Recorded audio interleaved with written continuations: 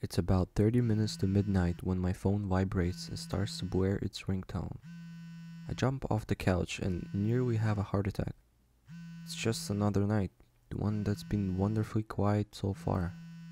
After a chaotic Friday evening that lasted until 5 in the morning, it's nice to spend the Saturday alone at home, watching whatever crappy movies are on TV. I recover and answer it. It's Mike though I can barely hear him over the pounding music in the background. We're leaving the club now. He screams. The girls ditched us and Trent wants to get home early so he can go to the church with his family. Uh, sounds good, I say. Did you bring enough cash for a cab this time? Mike's stories of getting stranded downtown in the middle of the night had become legendary. Nah, Jason's friend has a car. I frown. Has he been drinking? Like one or two beers.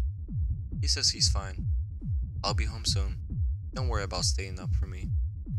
Thanks, but I'm not tired. That and mom and dad told us to always deadbolt the doors, so if I do that, you won't be able to get in. He laughs. I'm not sweeping in the front yard again. Okay, I'll be home soon. He hangs up and I go back to my movie. There's something about mindless violence and explosions that seems so relaxing. Or maybe it's the fact that school's finally done for the winter holidays, and my parents wisely decided to go on a cruise with friends for a week before Christmas. Mike and I have the house to ourselves. For him, it means no stern looks when he staggers home reeking of alcohol. For me, it's no constant reminders to start looking for a job in time for graduation. The movie goes to its 15th commercial and I head to the kitchen for a snack. As I throw a bunch of eggs, cheese, and vegetables into a skillet, I hear a loud cracking noise in the backyard. I press my face to the cold, frosty window and look out, but there's nothing out there but a few bare trees and some fresh fallen snow. Probably just an animal. It can't be easy to survive the winter. My cell phone rings again, so I wander back to the living room to grab it it's Mike. I can hear sirens in the background. So, Jason's friend kinda lost control of the car? Sounds like he's holding the phone half a foot away from his mouth. Oh god, what happened? We hit a pole. Car's totaled, but we're all okay, I think. Cops are here. They're talking to the driver. He laughs. He's definitely drunk. No kidding. They're ignoring the rest of us, and there's a bus here, so I'm gonna hop on and get home. Sounds like a plan. I pause and grimace. Wait, do you know what bus to get on? I'll figure it out. We'll call you when I'm close. He's gone, and I go back to the movie. There's a lull in action when attractive male protagonists and attractive female protagonists engage in an awkward conversation, which might have worked if they had any sort of chemistry and my mind wanders to my job hunt. A few of my classmates say they know great companies to work for. Apparently, mechanical engineers are invulnerable to the bad unemployment rate, but I'm not really sure if I just want to jump into things. Traveling would be fun. There'd be something immensely rewarding about sending Mike a photo of me on the beach while he'd be studying for midterms in the middle of October. Totally worth passing up on an easy job for. A sudden whirring noise comes from the kitchen. I jump up into the thick smell of smoke. The omelet. Damn it. There's about a foot of black smoke hovering in the kitchen. I run in, pull my burnt snack off the stove, and open every window, letting the chilling air in. My creation is little more than ash, so I open the back door and threw it out for whatever animals are trying to get through the night. So much for that. There's some leftover pasta in the fridge, and I'm happy to eat it cold. At this point, I'm better off not heating anything up. I settle down and continue the movie, but my mind's going back to traveling.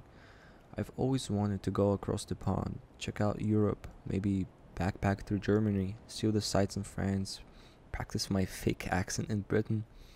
What is it like there in summer? Hot, I bet, but not any hotter than it is here hopefully less humid. Again, my ringtone snaps me back to the real world. Now you pick up. Mike's shouting, but I can barely hear him. Wherever he is, the reception is terrible. I've been calling for hours. I look at the clock and roll my eyes. You last called 45 minutes ago. Where are you? I have no idea. The bus is going in the middle of nowhere, but I have no idea where any of these stops are. Hell, I don't even think they're in English. I sigh loudly. Not this again. How much did you have to drink? Drink? I can't even. He trails off, replaced with a loud, harsh static. I pull the phone from my ear. A few seconds later, it disconnects. Whatever, he'll find a way home. The movie eventually ends, but it's just past midnight and I'm hardly tired. Now I'm regretting allowing my roommate to convince me to leave my gaming console at school. This is the perfect sort of boredom for grabbing a sniper rifle and telling 12 year olds how bad are they in this game. And then Mike could have joined right in. Probably spends more time playing than I do, and he doesn't even live with me. I think my parents are relieved that we're going to the same school. He's been trying his absolute best to get his wife back on track, and I'm able to be there in case he needs a shoulder to lean on. A loud scream comes from the backyard. I go back into the now freezing kitchen and grab a flashlight from the cupboard. I shine it around, but there's nothing out here. The remains of the omelet are gone, and there are a ton of paw prints around the area. Raccoons, squirrels, maybe coyotes. Whatever they were, they moved quickly. The smoke in the kitchen is gone, so I just close all the windows and lie back down in the living room. I guess I doze off because when I wake up it's 1:30 in the morning. There's been no contact from Mike, so I give him a call. Hello? Now it's like he's talking into a phone on the other side of the room. Are you there? Please say something. I'm here, I say slowly. Have you figured out the way home yet? I can't. Despite the low volume, I can hear panic in his voice. I've been writing for days, maybe weeks. I, I can't tell. Transferring from bus to bus, none of them are going anywhere. I can hear him whimper. I can't help but grin. I'ma hold this against him for years. I don't want to get off. There's something wrong around here. Something dark. It's waiting for me. Yeah, it's cold at night, and it's not very friendly to blackout drunks, is it? Stop it. Just stop. He fades away. Hello? Mike? I check my phone. It's still connected. If you can hear me, just get off and grab a cab, okay? He comes back with a slightly queer voice. We just passed Whitmore. I recognize this place. That's good, seeing as we drove by it nearly every single day when we were kids. I sit up and suddenly I feel groggy. Time for bed. Anyway, I'm gonna go. No! He shouts forcefully. Please stay. Don't hang up. Okay. Now I'm wondering if he took any substances beyond alcohol. It's like he's combined the hallucinations of shrooms with the, depressants of beer. I grimace. It's what the old Mike would have done. Just talk to me. How are things at home? Uh, they're good, I say. There's a bunch of animals outside making lots of noise. I think they're raccoons, but they could be bears, so you might want to watch yourself. Cool. The connection is even better. Just went over the bridge. I'm a few stops away. And there you go. Was there any reason to have been concerned? Like you wouldn't believe. He pauses. Man, I cannot wait to get home. I think I can hear my bed calling me. Is it saying, Clean me? He laughs, loudly and heartily. I'm nearly there. Jeez. I'm glad the night is over. Thanks for not hanging up. I'm always here. You know that. It was weird. He continues. I couldn't call or text anyone. I tried to get on Facebook, but it looked very strange, and as soon as you called, I realized where it was. It's like it came out of nowhere. His voice rises. And there's our street. I'll call you when I'm near the house. Holy crap, that's dark. He hangs up. I go to the front window and look out. All the street lights are on, casting their pale orange tint on the road. I gaze as far down as I can. No sign of him. I'm about to go and clean up my kitchen, but my phone rings. Where the hell is our house? I throw my free hand up incredulously. The same place it's always been, you idiot. I can't see it. The street is way too dark. I don't even know if I'm on the sidewalk or the road. What are you talking about? It's bright as day out there. I go over the front door and flick the outside light a few times, showing off our snow covered driveway, the one Mike was supposed to shovel before heading out. There, can you see it? I saw it.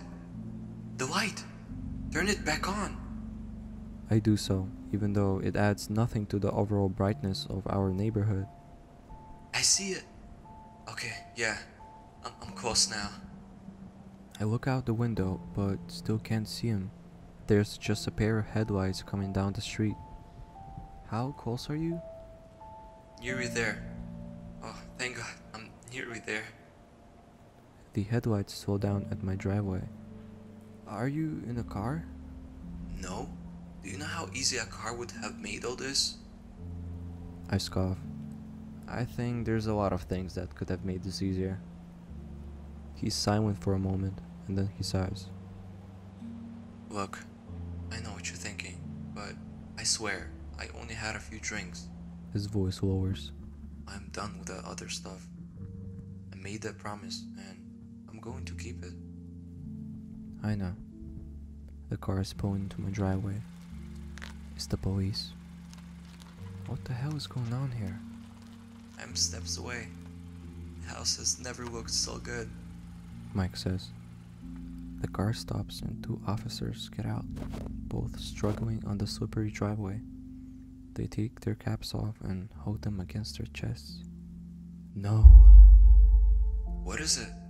Mike asks. I'm at the driveway. Can you see me? The world stops around me. This was supposed to be just another night. Everything I'd done the movie, the omelet, those animals outside, what I'm going to do when I graduate had been so inconsequential. That was the point. That was the goddamn point. The officers are walking up the steps. My throat is suddenly very tight, but I manage to get the words out. Yeah, bro. I can see you. Awesome. I'll be there in a minute. Thanks for guiding me home. It's what I'm here for. I take a deep breath. See you soon. Can't wait. He hangs up. A few seconds later, there's a knock on the door.